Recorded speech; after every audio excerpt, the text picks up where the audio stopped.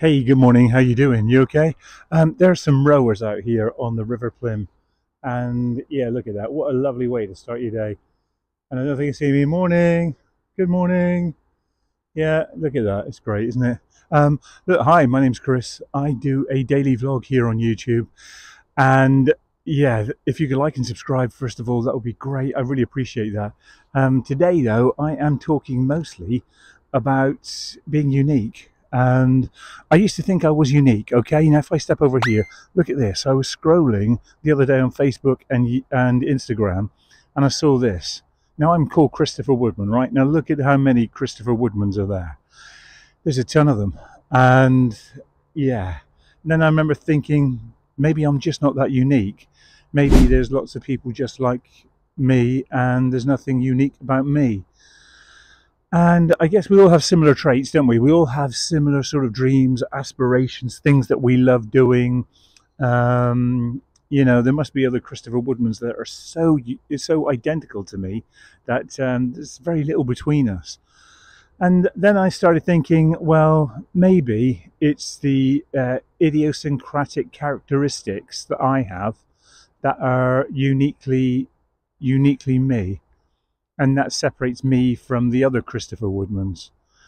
And what is it to be unique? What is it to be different? Um, I think I'm the sum of my experiences, and the experiences that I have, other people just don't have.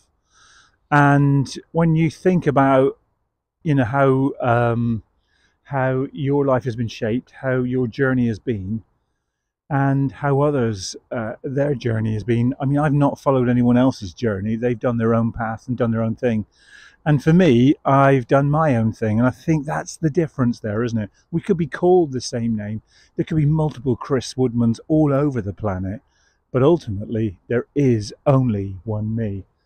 And it's a bit like you watching this video. You're unique. There's there's no one quite like you there might be somebody that might have your name that might uh, be in a similar place might have similar sort of interests and similar views um, but how how do you sort of uh, differentiate yourself? Well, it's all about your new, your unique journey and how you overcome trials and tribulations in your life and how you've been shaped by all that so don't ever think that you're not unique. You know, don't ever think that you're not special because I think in all of our unique ways, we are all special.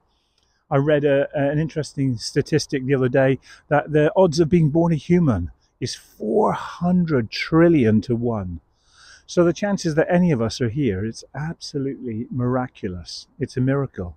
I try and wrap my head around the fact that, you know, how did all this come come to be, you know? The Big Bang, people try and explain it from that. But what happened before the Big, Big Bang? What caused the Big Bang?